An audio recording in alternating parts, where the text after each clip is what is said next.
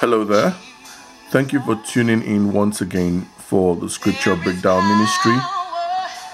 My name is David Abraham, and our scripture for today comes from 1 Thessalonians 5 17 and 18.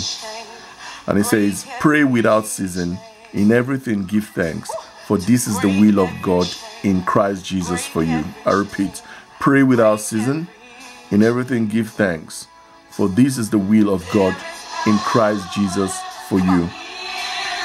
Now, we want to divide the scripture into three parts. The first part is pray without ceasing. Now, what do we understand by prayer? You want to be able to define what prayer is. Prayer is the constant communication with your Creator, my Creator, the constant communication with God, the constant communing with God. Through prayers, God is able to relate messages to you. Through prayers, God is able to interact with you. Through prayers, you're able to have a close knit relationship with your Maker, with my Maker. So he says, pray without ceasing. It's, it's just like communicating with your friend, communicating with your spouse. He says, pray without season. So, what he's saying, constantly communicate with God, constantly get information from God, constantly seek seek information from God, constantly seek direction from God, constantly seek what the vision is from God. He says, pray without ceasing, pray every time, pray all day, pray at night, pray in the evening, pray in the morning, pray in the office, pray in the bus, on the train, on the plane, in your car, pray in your um, cafeteria, pray in your cafe, pray in your restaurant, pray when you're with your friends, pray all the time. Constantly communicate with God. Sometimes this might seem a bit difficult, but when you de- develop a habit of praying, then at some point it becomes a piece of cake. You can pray easily, you can pray in your mind, even when you're relating among friends, you're praying. Then he goes ahead and says, In everything, give thanks.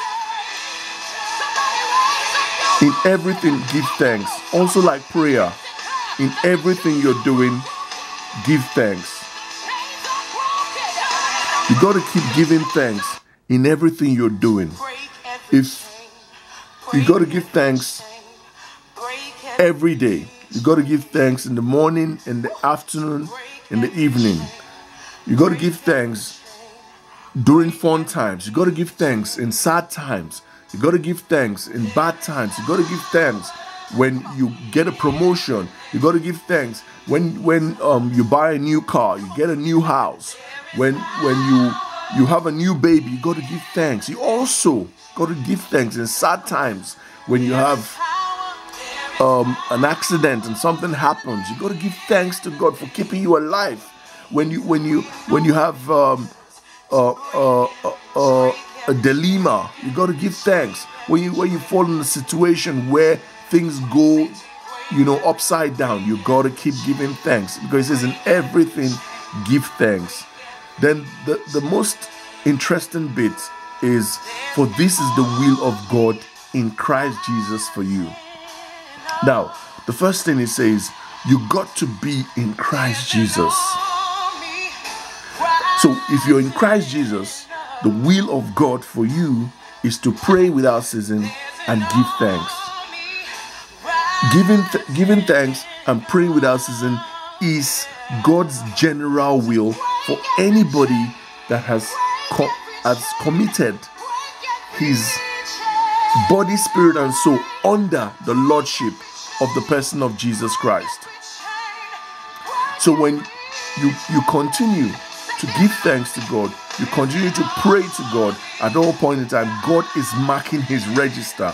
God is acknowledging that this is my will for this person. So when you continue to pray, when you when you're prayerful, you're living in God's will. When you are thankful, you're living in God's will. I mean, besides other things God might want to do, sometimes He gives Christians specific instructions. but this is a general instru- instruction because God wants to be able to commit, communicate with you what He wants you to do. He wants to be able to communicate your purpose in life for with Him.